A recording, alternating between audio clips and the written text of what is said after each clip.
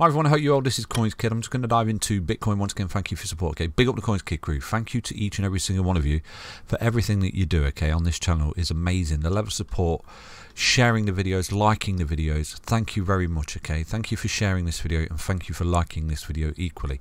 So right now, what is Bitcoin doing? Well, for me, you're in technical targets to the upside because you're broken out of a couple of patterns here. Okay, there's a few patterns that I've shown you before. You run into resistance. You've got your uh, left shoulder there, your head, your right shoulder, and you're broken out of it. Okay, so that gives you a technical target to the upside from there to there.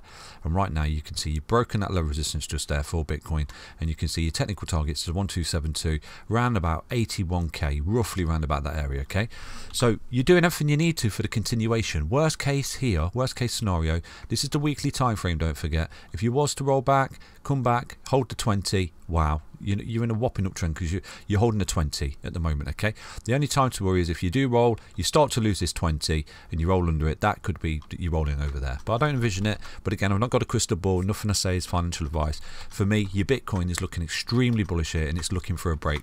And when the break comes, it could be actually quite explosive. Okay, just like the the VeChain breakout is today and the Ethereum breakout, because this is doing exactly what Ethereum was on its local high.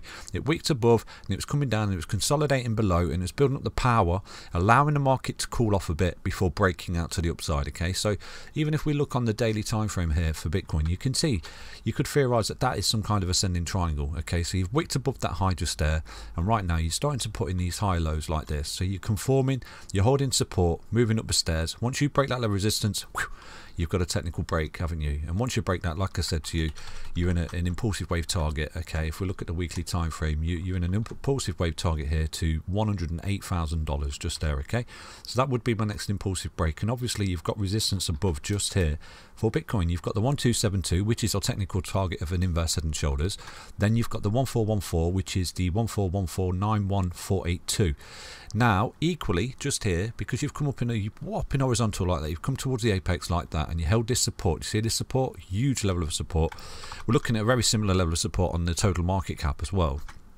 So you've actually broken out of a, a whopping horizontal uh, here from there to there all the way down is your technical target of a horizontal and you can see that you've broken out as, a, as well, uh, out of that as well so your technical break target is on the 1414 at 91482 so bitcoin's looking extremely bullish and like i said to you in a previous video on the daily if you take a look at this what you're doing is you're coiling up making high lows under the previous local high okay so you've had a wick above it, come back down and you're coiling up, making high lows, essentially some kind of ascending triangle, get your break, you're gone, aren't you? I've given you all your support targets in previous videos if you was to see a roll and areas where you need to put some cheeky bids on for Bitcoin. But you can see, like I said to you, uh, where are we? Just here. Okay, look at this previous uh, all-time high of the previous bull run in 2017. You come up, you got the wick above. Then if we move to the right, okay, let's move to the right. This is December last year.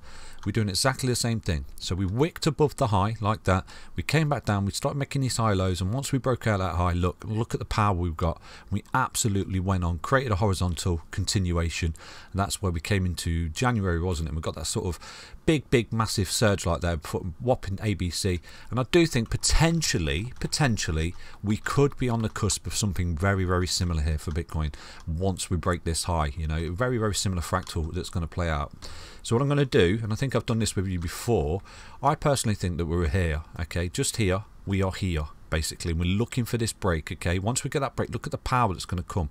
I think for Bitcoin, once you break that high, you could be looking at somewhere very similar, right about a 27% break. Now, the 27% break here, you know, from there would take you roughly up to that 1272, which is around about 81375, uh, which is the technical target of the inverse head and shoulders, okay? So you're doing everything you need to for the continuation of the ball right here. If you roll over, you've got your key level support, which you need to see held for the continuation. But for me, there's a break that's coming relatively close because of the pattern that you're creating here. These, you know, these higher lows creeping up the stairs, holding the 20 on the daily, especially. Like I said to you, if you continue to do this, this yellow line creeps up like that. Look, like it did here, creeps up, creeps up, creeps up. You continue to hold it break. Okay, so I personally think that you could be looking at a very similar fractal right now as to this. Okay, and this sort of blow off top and this rolling over pattern. Potentially, this could be at play. We could be like a Wyckoff distribution again. You know, the composite man could be playing our asses again. Okay, so what I'm going to do is drop this fractal from here, just there, up to this top in uh, where was it April, and see where that takes us. Okay, so we're literally just there, aren't we? Now look where that takes us. That takes us to my 207k forecast that I've had since 2019. I've had that forecast. Okay, for those of you familiar with the channel, and look, if we do follow the exact same fractal, we've got a bit of a cheat cheat sheet, haven't we? You know, you break this local high just here, which is the all-time high. You take it out, you move up, you're moving through the fibs, 1272. You're overextended up here beyond the 1618. You have that sort of parabola mania blow off top. Okay, just there we could enter the bear, and if we do, we lose a key level support. I will show you. But if we've got the cheat sheet here, carrying out the same fractal, this is what puts us at the 200k which has always been my target. Okay, and it's always been the its title on my thumbnail because we are on the road to 200k. It's a journey. It doesn't happen overnight, you know. And, and, and so far, so good. We're breaking out. We're holding support. We're breaking resistance, falling back to that as support. It's all golden. So that's basically a little update on Bitcoin. You know, stay tuned. Watch this space. There is something that is a bit of an anomaly at the moment. I'm going to show you, and it's something that's actually quite good for Bitcoin, to be honest with you, because this is the DXY, and as you know, this is inversely correlated with Bitcoin. So for me, is your DXY going to break out here and put this high? Because obviously if it does, the inverse correlation between Bitcoin and DXY means that Bitcoin's going to roll over. But there's two scenarios potentially. You're looking, if for me, if Bitcoin was toppy, I would expect the DXY to be bottomy. Do you understand? So down here, the DXY was bottoming out and what happened? It shot up and Bitcoin had that whopping correction, okay, which made a lot of people think we was going to a bear market. But for me, I knew we wasn't going into a bear market. I knew it was a corrective phase of a bull market because the, the chart charts tell me the story. Okay, show me the charts to tell you the news. The, bit, the news is Bitcoin's bullish. Okay, so right now there's an inverse correlation. So basically, if if this breaks out here and continues to go up here, and it's this W bottom target and everything that everyone's on about, then yeah, that could actually be quite negative for Bitcoin. But what if it isn't? What if the inverse correlation is actually broken right now? Okay, because don't forget, look, all the way here, this has been going up yet Bitcoin has recovered, okay, and it's gone up and broken high. So is an inverse correlation beginning to sort of fade away? The other scenario, something to think about, the other scenario is that you, the, the, DXY actually fails to break this high because you can see this is a key level resistance at the moment. This is your technical high that you do need to break. So it's a case that the DXY runs into that and then rolls over. And this is where we see that huge impulsive move for Bitcoin moving forward.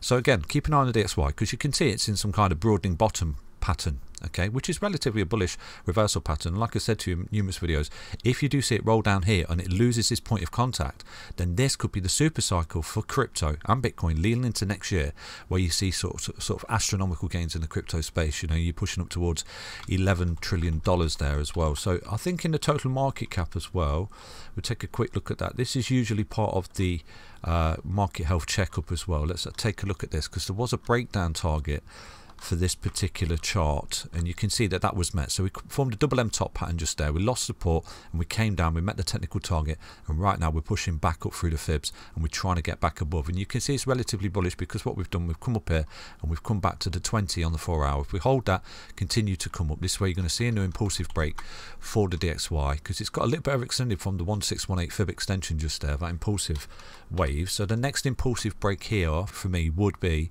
from here to here. So if we go on right now and we start to come up and break this high, you are looking at 2.83 trillion dollar market capitalization for the uh, total market cap just there. And like I said to you, look, the bulls go up the stairs like this, don't they?